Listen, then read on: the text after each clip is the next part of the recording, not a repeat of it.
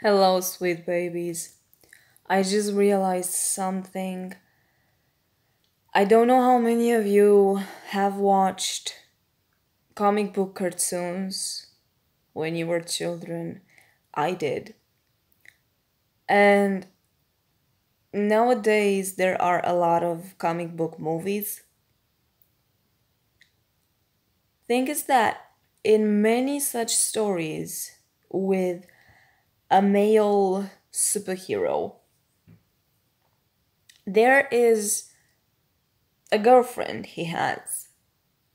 And because he's the hero,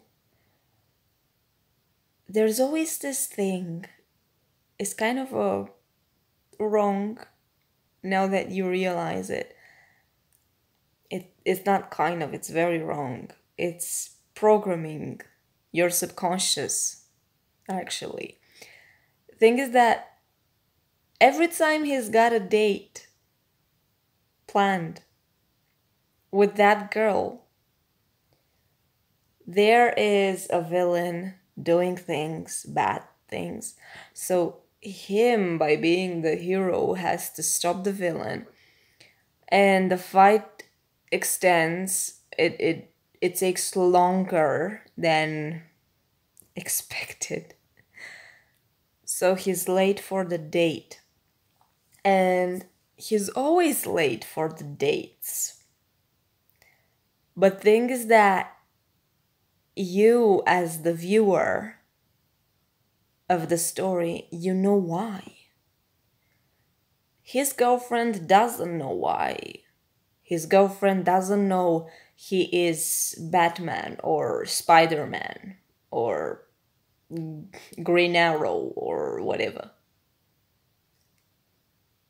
So he she just sees him as a guy being late for the date. But thing is that those girlfriends tolerate this behavior for far too long far too long far too long.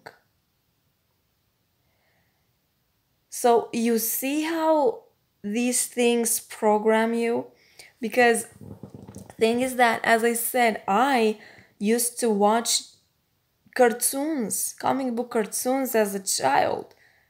And there was this kind of story there at least in two major comic book cartoons batman beyond and spider-man.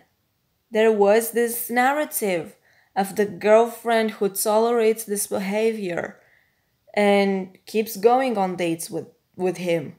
The dates where he almost never shows up.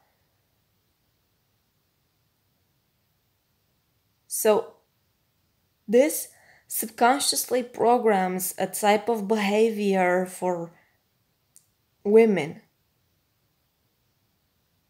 and also for for guys it kind of tells you that hey she'll tolerate it.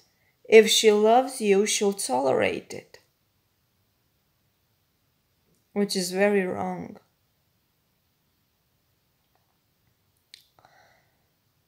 I i quickly wanted to talk to you all about this